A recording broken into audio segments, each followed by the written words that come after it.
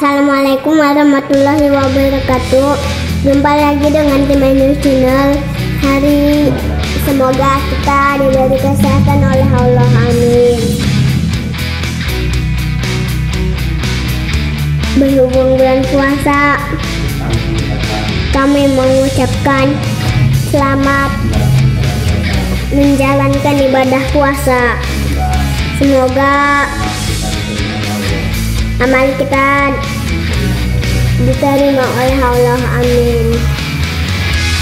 Ini kita akan ngabuburit sambil jalan-jalan ya, ke gedung naskah Nilai Jati Kuningan.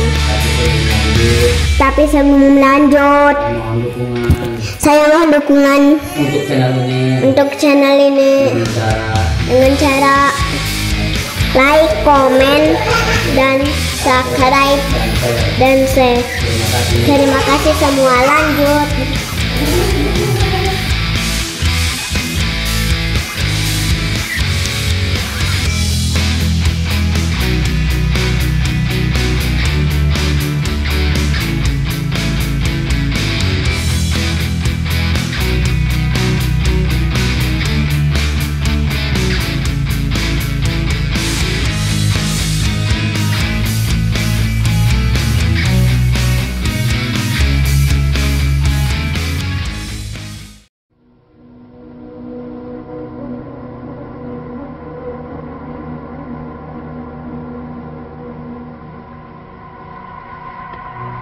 Kabupaten Kuningan, Jawa Barat merupakan salah satu wilayah yang memiliki ragam pariwisata uniknya.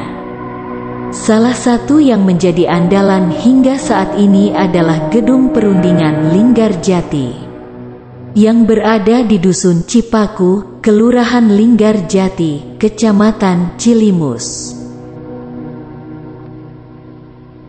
Seperti diketahui, Gedung Linggarjati merupakan salah satu saksi sejarah mediasi Indonesia dengan Belanda yang terjadi pada tanggal 11 sampai 13 November tahun 1947.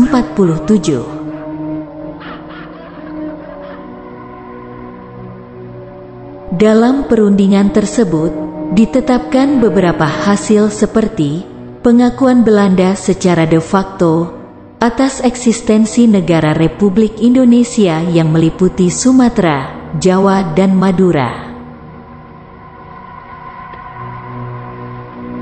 Dalam sejarahnya, Gedung Perundingan Linggarjati pernah berkali-kali beralih fungsi menjadi gedung perundingan hingga museum seperti sekarang. Gedung ini dibangun di atas lahan seluas 1052 meter persegi. Konon, dahulu gedung perjanjian ini merupakan gubuk rumah sederhana dari Ibu Jasitem, seorang janda yang dinikahi oleh pengusaha gula Belanda dari wilayah Cirebon. Kemudian, dibeli oleh pengusaha gula juga dari pabrik gula sindang laut bernama Menir Yakobus Johannes van Os dan direnovasi menjadi semi permanen tahun 1921.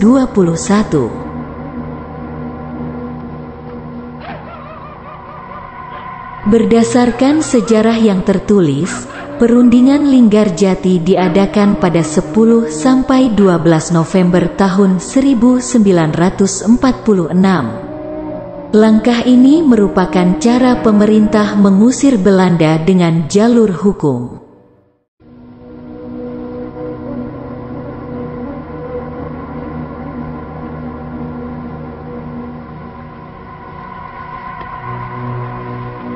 Hasil perundingan ini lalu menghasilkan naskah persetujuan Linggarjati atau lebih dikenal dengan Perjanjian Linggarjati yang disepakati di Jakarta pada tanggal 15 November tahun 1946.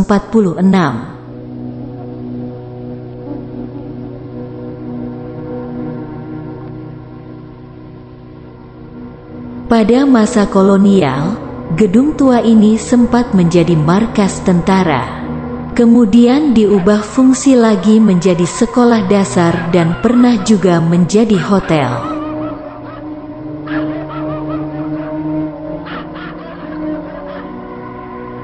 Bernama lengkap Museum Gedung Perundingan Linggarjati, museum ini menjadi saksi bagaimana perjuangan diplomatik yang dilakukan oleh para pendiri bangsa.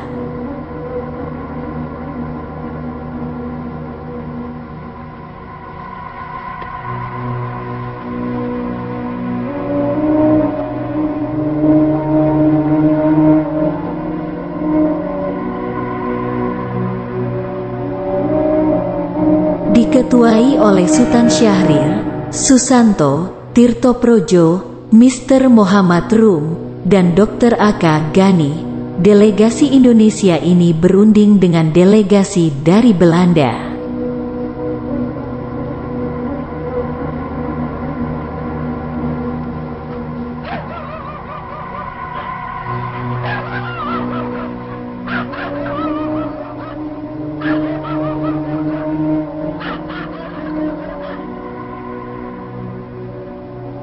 Dari pihak Belanda yaitu Profesor Mr. Skrerhon, Dr. F. de Boer, Mr. Van Pol, Dr. Van Mook, dan diplomat Inggris Lord Killern sebagai mediator.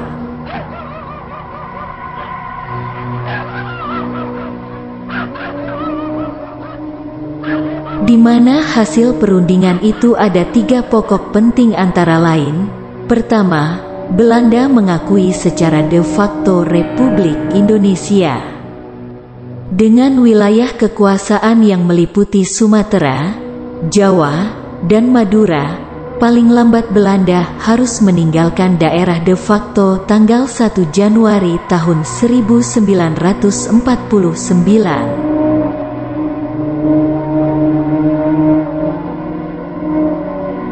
Kedua, Republik Indonesia dan Belanda akan bekerja sama dalam membentuk negara Indonesia Serikat dengan nama Republik Indonesia Serikat yang salah satu negara bagiannya adalah Republik Indonesia.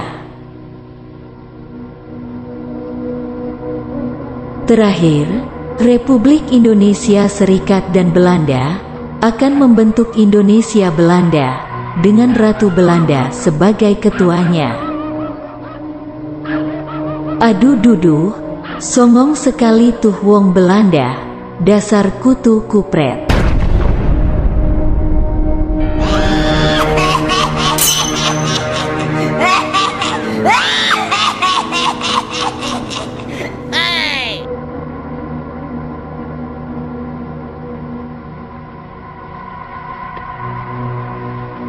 Di sini pula, terdapat kamar-kamar tempat para delegasi dulu menginap, yang masih sampai sekarang terawat dengan baik.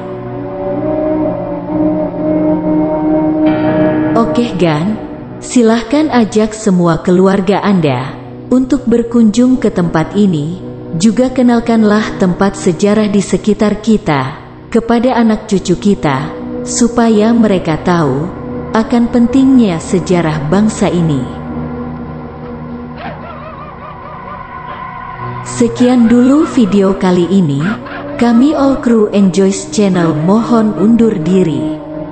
Salam damai dan sejahtera untuk kita semua. Assalamualaikum warahmatullahi wabarakatuh.